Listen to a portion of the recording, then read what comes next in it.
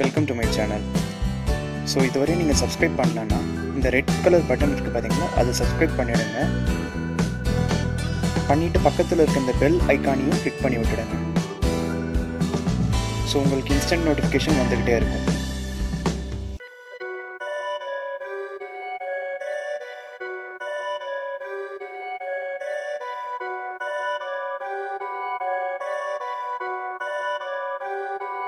Perfect.